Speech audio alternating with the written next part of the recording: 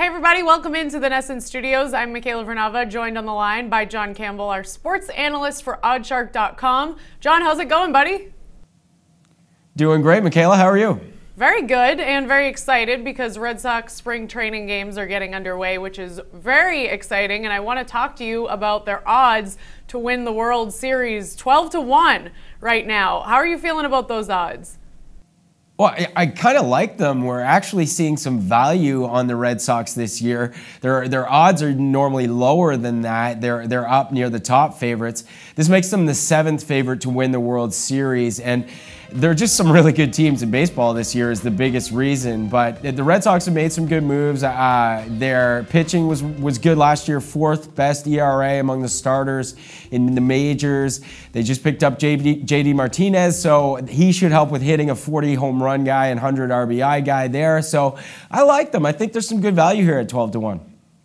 Yeah, I know Red Sox Nation is very excited about them picking up JD Martinez. So we are looking forward to Sox season getting underway. And meanwhile, the Celtics, their season win total has been adjusted to 54 and a half games.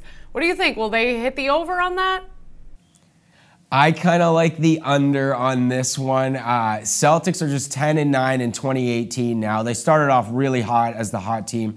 They're still the best bet in the in the NBA, but they've lost and failed to cover four of their last five games. It's always tough in the NBA when you're trying to win primarily with defense. They're the sixth worst scoring team. I think teams have caught up to them a little bit. So this number means to go over. They have to win 15 of their final 23 games. I think it's just a little bit too high, so I like the under.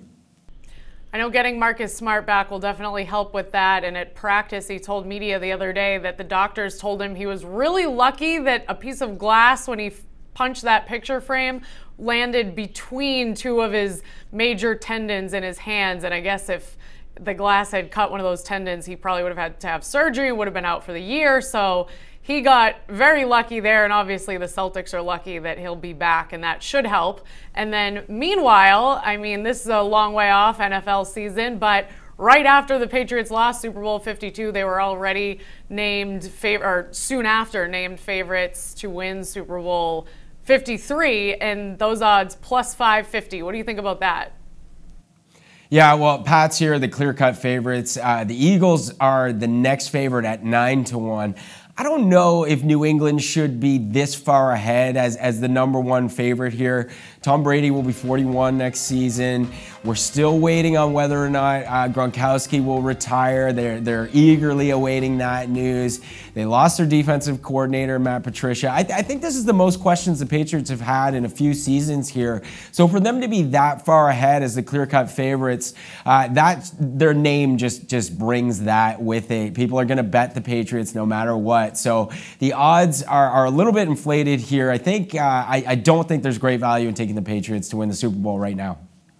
All right, Jon. Well, thanks as always for the great insight. We'll talk to you next week. Thanks, Michaela.